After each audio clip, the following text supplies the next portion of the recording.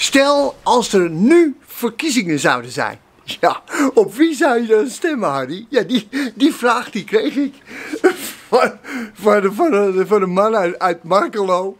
En die zegt tegen mij, ja, eh, ik zou het echt niet weten. En ik zei, nou, ik, ik weet het ook niet.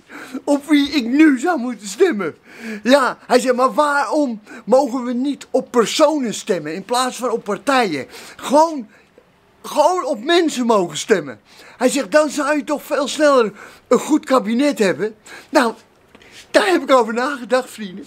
En ik heb een lijstje gemaakt. Ja, jullie zullen wel zeggen, ja, ik ben het daar niet mee eens, daar niet mee eens. Je mag ook je eigen lijstje maken. Ik heb ook niet alle ministeries ingevuld, want het is nogal een waslijst tegenwoordig. Maar ik heb gewoon even de belangrijkste genomen. En daar heb ik gewoon wat mensen bij ingevuld waarvan ik dacht van nou, daar zou ik dan persoonlijk op stemmen.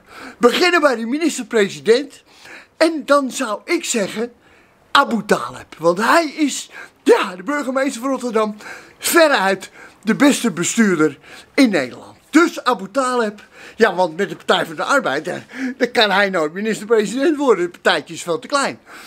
maar als je persoonlijk op hem zou mogen stemmen, hup, Abu Talib. Dan heb ik op financiën, daar zetten we natuurlijk omzicht. Ja, want ja, dat is een waakhond. Die let op de centjes. Die houdt alles goed in de gaten. En die neemt eh, niks in de maling. Dus omzicht. Die zetten we op financiën. En dan zet ik op binnenlandse zaken. Want daar mag hij zich eindelijk eens uitleven.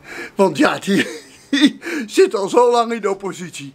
Wilders. Ja, Wilders mag van mij op binnenlandse zaken.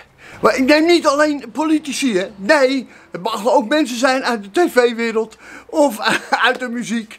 Uh, alles, als ze maar moeten we wel kennen, hè, want anders weten we niet waar we het over hebben. Je kan moeilijk zeggen mijn neef, mijn tante, maar weet ik wat. Dat schiet niet op. Nou goed, dan heb ik op immigratie.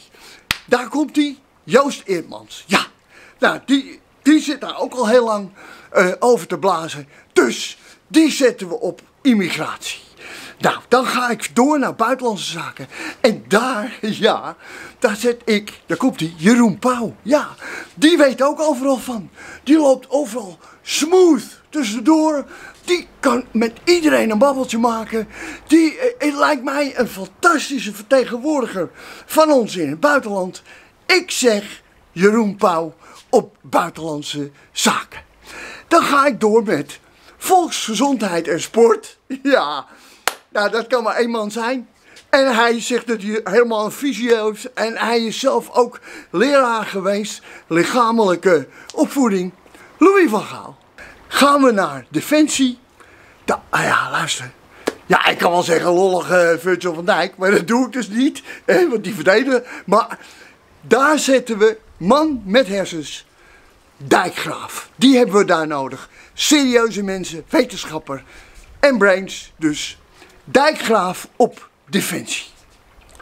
Justitie, ik zeg, iedereen heeft recht op een tweede kans. Bram Moskowitz, ja, Bram. Slim en sluw en scherp. Ik zou zeggen, die zetten we op justitie. Kom ik bij onderwijs en cultuur. En daar heb ik, ja, hij is er net bij gestopt. Hup van de Lubbe. Ja, ik zou ook uh, Boudewijn de Groot kunnen nemen daar. Die zou ik ook daar rustig neer kunnen zetten op cultuur. Maar ik neem Huub van der Lubbe van de Dijk. Die, ja, die maakt een energieke en sterke indruk. Huub van der Lubbe, die zetten we daar neer. Dan heb ik nog te vergeven de staatssecretaris voor de media. Nou, dat kan niemand anders zijn dan Johan Derksen. Ja, Johan Derksen.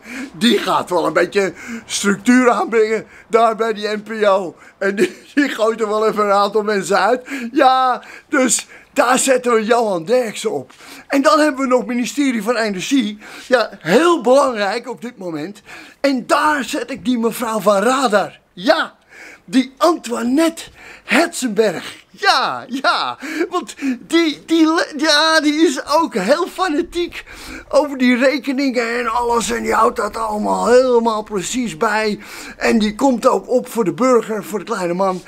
Dus ik zeg, die Antoinette, die zetten we daar op energie. Nou vrienden, dit is ongeveer mijn lijstje. Ja, en, maak hem zelf ook even. En laat het aan mij weten hoe jouw kabinet eruit ziet.